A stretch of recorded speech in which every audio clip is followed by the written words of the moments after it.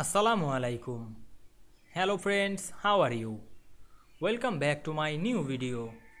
In this video, I am going to show you how to insert a banded quote text box in Microsoft Word. Let's get started. Firstly, we have to open a Word document. Now we want to insert banded quote text box in this document. Go to the insert menu. And now we can see here many options. We find and select the text box option. Then find the banded quote and insert it. Now we can see we insert the banded quote text box very easily. You can change the text box color or move this text box anywhere. Otherwise write anything on the text box.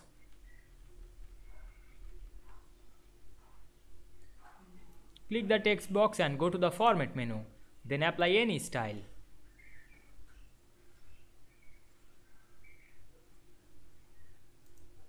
I hope you enjoyed the video.